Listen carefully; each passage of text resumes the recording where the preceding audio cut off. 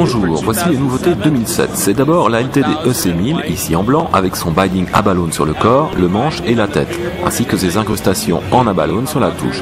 Vous avez deux micro-humbuckers, un en position chevalet, un en position manche, un sillet Irvana et une mécanique autobloquante. Voici la nouvelle série FX avec un corps de EX et un tout nouveau design de tête. Un corps en acajou, une table en érable spalted. Cette FX400 offre un manche conducteur, deux micros EMG, un en position chevalet, un en position manche et le nouveau sillet Irvana. La FX 260 offre deux micros humbuckers ESP LH300 ainsi qu'un corps acajou avec table en érable spalted et manche collée.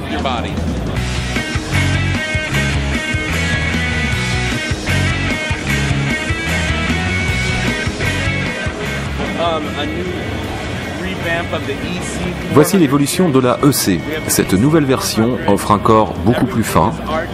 Elle possède des micros euh, Seymour Duncan, les modèles JB et 59, ainsi qu'un sillet Irvana. On passe à la EC 500, ici en blanc, disponible aussi en rouge sombre transparent, en noir satiné et en noir brillant. Mais on n'a pas ici. Tous ces modèles sont équipés de micros EMG 81 et 60, d'un sillet compensé Irvana, d'un corps sculpté et d'un binding.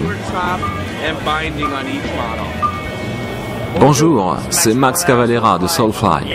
ESP est vraiment la meilleure marque de guitare qu'on ait jamais vue. J'en profite pour vous dire à tous de les essayer.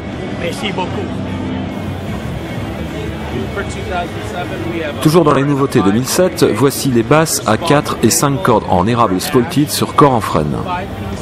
Le manche 5 pièces est en érable et noyé. Vous avez deux micros AMG, un contrôle de balance, deux volumes et trois aiguisations actives. Ici, nous avons un modèle similaire, mais c'est une 6 cordes. Comme sur les versions 4 et 5 cordes, le manche vissé, corps en frêne, érable et noyé, deux micros AMG, balance, volume et égalisation active.